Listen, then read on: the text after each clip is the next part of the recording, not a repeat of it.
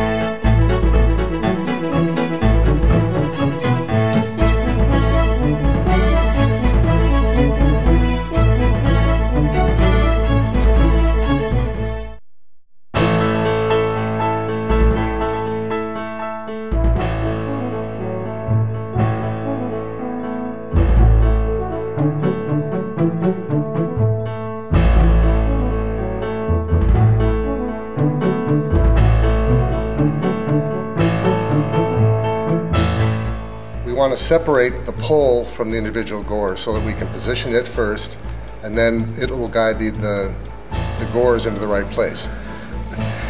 So, you peel it back past where the lines converge so that when you cut it, the pole part will be separated from the gores. And then we're only working with this, and this won't. And it's the same exercise we did before. The curved lines onto curved lines, right? Okay. And now that's just one small piece that we can tape on, and that goes on pretty smooth. See that?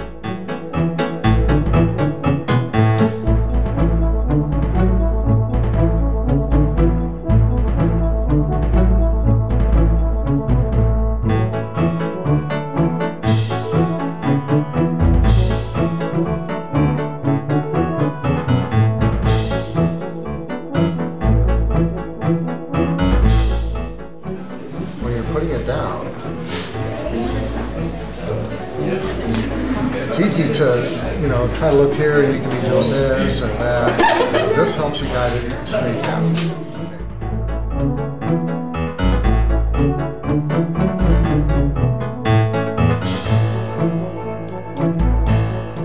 If you don't get it right, you lift it up and do it again until you are happy with the alignment.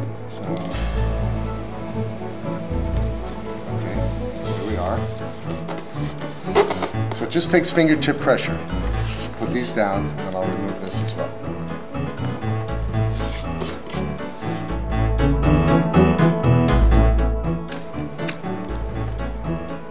And I like to have my, the plane of my eyes coincide with the plane that goes through the center of the earth and the center of this gore. So that essentially my motion is straight down and I try to up with my two guides at the equator. And then I can smooth it down. And another thing that I like to do is, as I'm putting this one down, I'll move these others out of the way, just so that I don't inadvertently you know, tape this one as I go, like that. so again, I'll get my eye playing where I want it. I use the previous one as a guide, I use my equator marks as a guide.